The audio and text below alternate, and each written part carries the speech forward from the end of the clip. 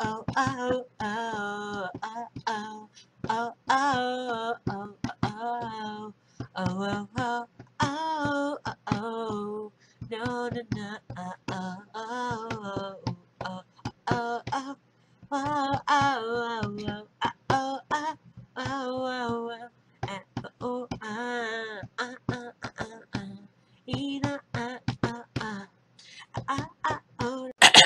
Good evening, folks of Night and Nightmares. Tonight's review will be a rehash of one of my first Halloween reviews, the Disney Halloween Treat. Ha ha ha ha! And this time I'll add a little bit more fear into your Halloween nights! Because you don't know what I'm gonna do! yeah, don't worry. That voice, ugh, it's hard to. Now, I know you guys have heard me doing a Disney Halloween treat a long time ago, one of my longer reviews. If you want to check it out, go on. But this one's going to be a bit more different because I have a bit more description, a better development, and plus, I got better lines. Now, the episode is narrated by a jack-o'-lantern puppet voiced by Hal Douglas, featured a companion of classic cartoon shorts involving spooky and supernatural themes that were excellent. The first cartoon of our daily fun is the greatest scene from the the Sword and the Stone, where we see the great Madam Mim fighting the great magician Merlin. They go out for a fight, but in the end, it is the blue wizard that wins. Purple lost. And in the end, he lost almost his life to the fierce dragon. That's Madam Mim. But in the end, she got withered and beaten. Then again, watch the movie one. Then there's Night on Bald Mountain. It all starts when he summons all of his creatures and creatures and monsters and creatures. Very creepy. Now, if you've noticed, there are two different uh, Disney Halloween treats. This is a different one. The first one was hosted by Mike Eisner. But this one is hosted by a pumpkin voiced by Hal Douglas, who voiced it. I'm not gonna say anything until we feel to the very end. We see the demon waken lord playing with his trolls and demons. Should have played him killing them and then bringing them back. Which always scared me as a little girl, I swear. I know some people say that he was the freaking devil. Many people even said that Walt Disney even called him the devil. But no, he's called Chernabog, a Slavic mythology my thoughts on him is always a bit, well, creepy. Sorry, folks. I had to uh, close the door. Hey, folks. Back to our little Halloween review. If you hear any back noise, it's just eh, things happening. Um, next is a clip from Pluto Sweater. You know the cartoon where Minnie gives him the sweater. Unfortunately, it starts to swing, and he accidentally put it on his head. Got so wet, sprinkled it looked like a mask of a monster. The next clip is from Mickey's Parrot, 1938. That when a parrot is delivered into uh, Mickey's house without him knowing it, he thought it was going to be a burglar or a killer. But in the end, it was just a parrot. But then, then we see the classic. The classic Donald Duck in the Gorilla, 1944. We see his nephews and him hearing a gorilla on the news. And then the boys try to scare, but in the end, it backfired because the real gorilla came. and Donald Duck he had to save the day. But in the end, it was his nephews that saved the day. I mean, seriously, come on. Who are you gonna think, dude, that beat the gorilla? That duck? Give me a break. Who Scooby Doo are way more smarter. Then we fear the most darkest cartoon I ever watched. Pluto's Judgment Day. Oh, I call it that way, Judgment anyway. We all see that Pluto's chasing the poor little cat and got in trouble, with, of course, with his owner, which is really sad. And we see all these colors, the dark.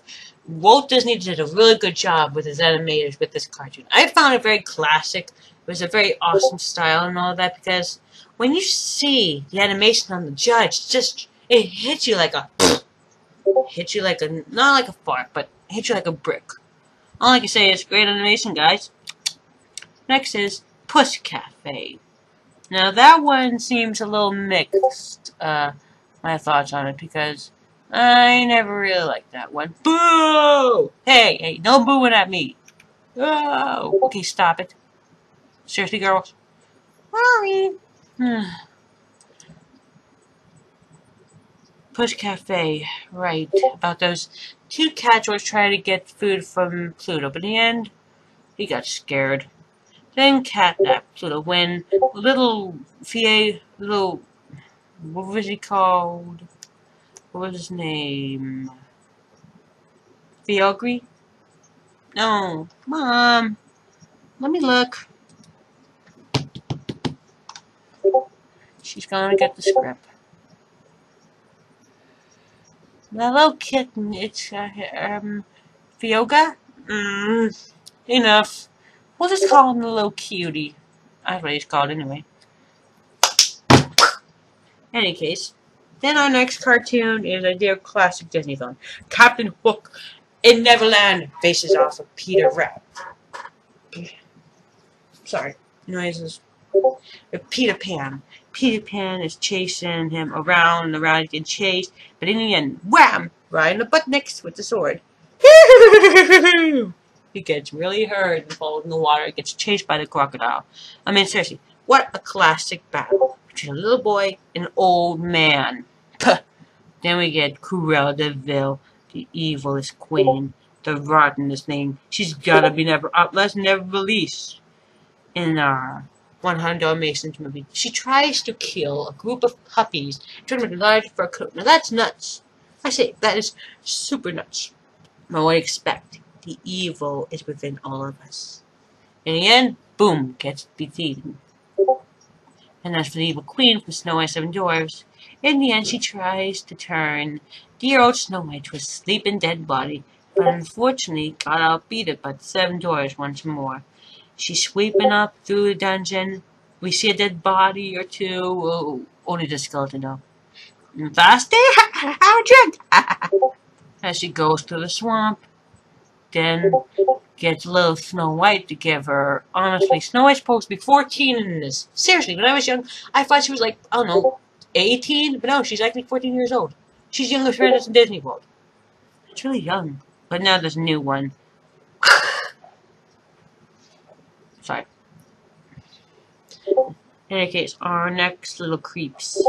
What should I say? Two creeps. I'm and Sai and I'm. The first Chinese animal characters we got from Lady and the Tramp. They really got Lady in trouble with their owner. I mean, come on. This is a cat lover, not a dog lover. They did everything they could to get in trouble. Even tried to kill the fish. The bird at half point. I mean, who has a cat? Who has a fish and a and a bird with a dog, which is kind of good. But if you have a cat, never let them go near. Otherwise, they turn into fillet of fish. In any case, our last create the last creature feature of the night is Ichabod Crane, headless horseman. As it begins in the party, Ichabod's ready to get ready to eat his food until John Bell Bones tells him the story of the headless horseman, and it begins to a whole giant sequence of singing, telling the story that he was that he's a monster, a Hessian that will cut your head off you go out there alone. The way only to survive him is to go to the bridge. But sadly, Ichabod Crane went through the night being afraid of this creature of the night. He um then wait, wait. then he showed up and chased the poor man down the road, down through the spooky ooky woods, until wham! The pumpkin was thrown at him. And that is the end of our story.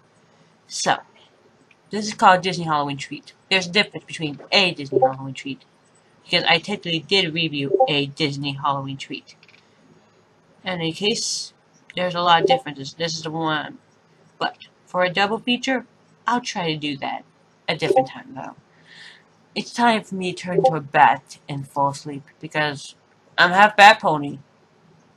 Again, I should, do, I should do a costume of me as a bat pony. And again, it would take me a long time to do it. So, folks, enjoy your evening and watch out for the vampires. You're in for a big bite!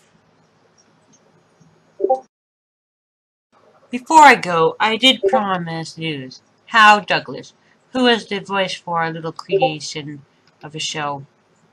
Tell you the truth, there there's not much to him, actually. There's not much to him. As, as all I know, the con over his voice in when Don and Floyd claimed he actually created the catchphrase. Oh, no. Hmm. Disney Halloween Treat and Disney Halloween Disney Channel, Walt Disney, through 1987 in 2002, and the History Channel. He did open voice narrate a lot of things for historic, significant, sports, and all that. Just want to give a little education before I go and hang my wings, if you get the joke. Uh, so far, that's all I know. But he was an excellent voice. Too bad he died at the age of 89 by cancer. And this is no joke. Cancer is one of the most deadliest illnesses ever. So be careful, guys. Cancer is no lack matter. It will kill you! Kill you! Okay, my brony watchers, remember to subscribe to my channel. And remember, there's always more with me than meets the eye. Or, should I say, more than meets a white rose. Night, folks.